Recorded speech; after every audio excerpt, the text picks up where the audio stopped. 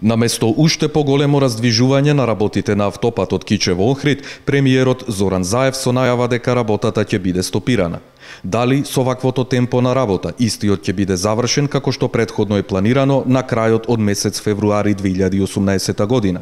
За овие три години работа на автопатот од 2014 година над 1200 работници и уште толку вклучени како логистика одовде ја има основната екзистенција, а сега дојдоа до неизвестност за истата. Стопирањето на работата на автопатот, стопирањето на асфалтирањето, градењето мостови и тунели, тампонирањето, копањето на земјиште, бетонирањето ќе значи и стопирање на нивната екзистенција и останување на улица. Посредбата што Заев ја имаше со кинеската амбасадорка во Република Македонија, Лин Лисиен, владата информираше дека е запрена активноста на автопатот, а како што брифира одредени медиуми, причината била несовпаѓањето на проектираната и веќе изведената траса на автопатот. Работниците, но и граѓаните на Кичево се шокирани и загрижени од ваквите најави кои можат повторно Кичевскиот регион економски да го осиромашат, со тоа што илјадници луѓе и семејства ќе останат без основна екзистенција.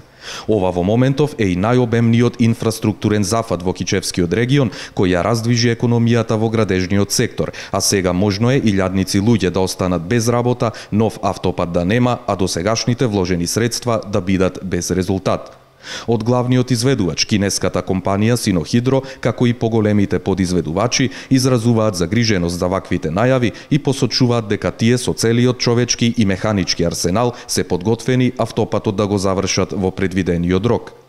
Останува да се види каква ќе биде судбината на автопатот Кичево Охрид, иако предходната влада, освен овој проект, започна активности и за отпочнување на изградба на нов автопат Кичево Гостивар, со што ќе се добиеше целосен автопат од Скопје до Охрид. Кичевчани, но и сите граѓани на Македонија очекуваат да продолжат големите инвестициски зафати што ги започна предходната влада, но за сега неизвестна е судбината на автопатот Кичево Охрид, а нема никакви најави за нови автопати.